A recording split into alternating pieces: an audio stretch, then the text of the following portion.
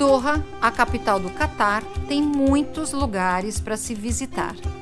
O Museu de Arte Islâmica já impressiona à distância. Basta uma simples caminhada pela Corniche, principal avenida de Doha, para que ele prenda a nossa atenção. De linhas retas, uma das características da arte islâmica, o museu é um projeto do arquiteto Leon Ming-pei, que em seu portfólio tem a pirâmide do Louvre, em Paris.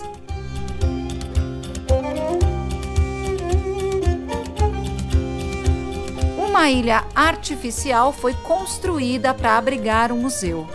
De um lado, vemos o Souk Waqif e o Porto dos Dous. De outro lado, o moderno Skyline.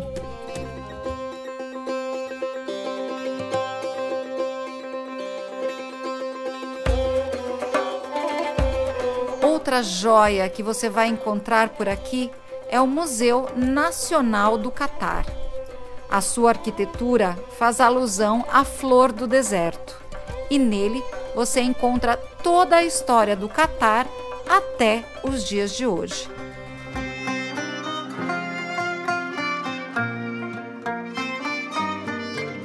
Outro ponto turístico muito visitado por aqui é o Souk Quakif, mercado labiríntico onde antigamente a água do mar chegava, dando origem do nome Quakif, que significa em pé, pois com o vai e vem da maré, os comerciantes trabalhavam de pé em barracas improvisadas.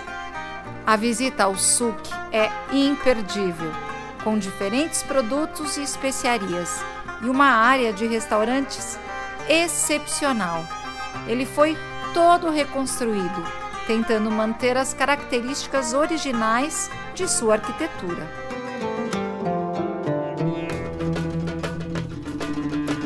Depois de tantos museus e mercados populares, chega a vez dos shoppings. Em Doha, você encontra enormes centros comerciais que fazem a alegria de quem gosta de uma boa compra. São lojas locais e internacionais, com marcas famosas do mundo todo. E claro que para os amantes do futebol, Doha está se preparando para o próximo Mundial. Toda a estrutura de metrôs e estádios está sendo preparada para esse grande momento. E não se esqueçam de que o Catar é o país mais rico do mundo e está mais do que preparado para 2022.